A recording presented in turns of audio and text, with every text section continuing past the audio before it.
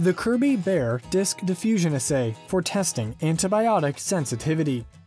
In this section, you'll learn how to determine the sensitivity of a bacterial culture to an antibiotic agent by disc diffusion assay.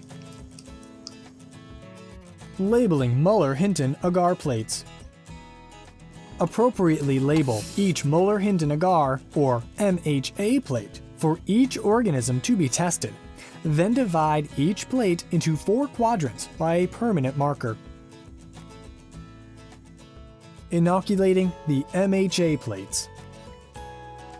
Dip a cotton swab in the culture to be tested and swab across the entire surface of the agar without leaving any gaps. Using the same swab, swab the agar in the direction perpendicular to the first inoculum.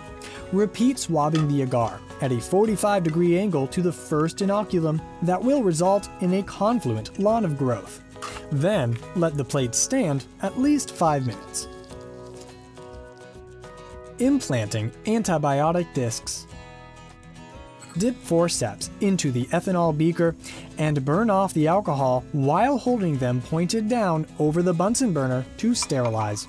Keep the beaker of ethanol away from the flame. Obtain a disc impregnated with an antibiotic and place it on the surface of the agar in the center of a divided quadrant. Gently tap the disc with the forceps to ensure better contact with the agar.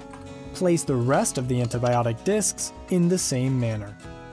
Finally, record the antibiotic disc codes and the corresponding quadrants in your lab notebook.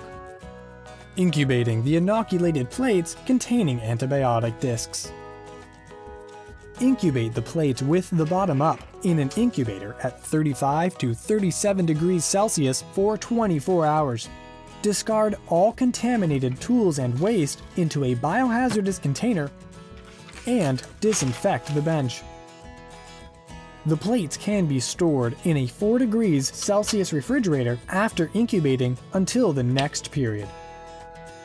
Interpreting inhibition zones of the test cultures. After incubation, measure the diameters of inhibition zones in millimeters with a ruler. Use the Standards for Antimicrobial Disc Susceptibility Tests Guide to determine if the culture is resistant, intermediate, or susceptible or sensitive to the drugs.